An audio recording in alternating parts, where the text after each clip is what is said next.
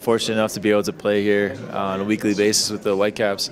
Um, and I know what the fans bring to the table for us every week. They're supportive. They're always there for us through thick and thin. And you know, I can't wait to put on the Canadian jersey and, and, and look up at BC Place and see a, a sea of red there. We're all embracing this this this new generation, this new culture. Uh, with John at the helm, we're, we're following his lead. Um, and it is it's an exciting time to be a Canadian soccer player and a Canadian soccer fan. So big things to come from Canada Soccer.